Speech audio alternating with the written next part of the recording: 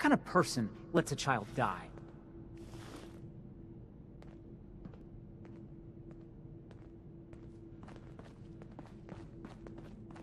So, hand over the chip. I don't know. I might need that chip later. This isn't a negotiation. This is a demand. Uh-huh. To anybody else in the Commonwealth, all you have is two caps worth of salvage. With us, that data is priceless. But we're not just going to give that away. Talk to me again if you change your mind. Hope you didn't mind the reception. When you tango with the Institute, you gotta be careful when someone new gets on the dance floor.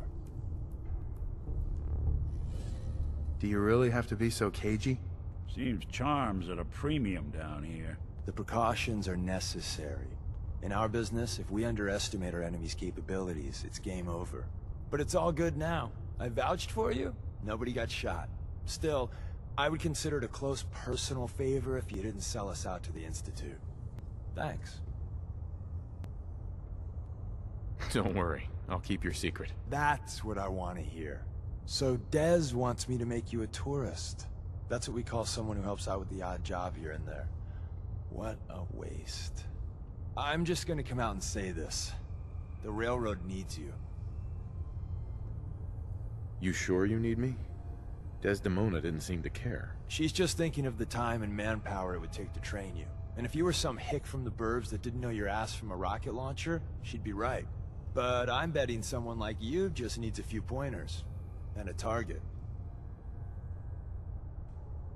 You got my attention. I got a job. Too big for me, just perfect for the two of us. You help me out, we turn a few heads, and then Dez invites you into the fold. Then, if you get into a bind and need some help, your buddies in the railroad got your back. What's the job? So, up front, the only thing I'll say is that it's gonna be a wild and dangerous ride, but probably nothing new for someone like you. Sign me up then. Perfecto! Let's meet up at the old freeway outside of Lexington. I'll fill you in once you get there. Des says we stay here until... Who are you? I'm Ronnie Shaw, Commonwealth Minutemen. At least I was. Back before Joe Becker got himself killed and the idiots took over. Joe Becker? Who's that? That's just sad. General Becker used to run the Minutemen. The last real leader we ever had.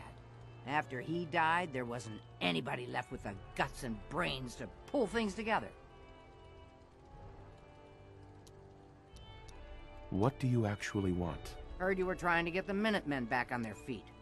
Thought I'd come see the new general for myself. So what's your story? What makes you think anybody even wants the Minutemen back? The Commonwealth needs the Minutemen. People are starting to realize that. I've heard some good things. Wouldn't be here otherwise. Now that I'm here, I can see you really need my help. Are you offering to rejoin? I guess I am. But first things first. I'm probably the only one who still remembers this. But the castle's armory was located in the West Bastion. Damn ferals. Radiation has a twisted sense of humor. It's these damn greenskins, the super mutants. Whenever they come through, we just have to run away or hide. They take everything they can eat and destroy most everything else. And if they ever took us by surprise, we'd, we'd all be dead.